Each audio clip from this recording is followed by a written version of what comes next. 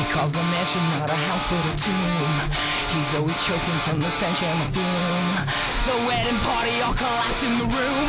So send my resignation to the bride and the groom. Let's go down. This elevator only goes up to ten.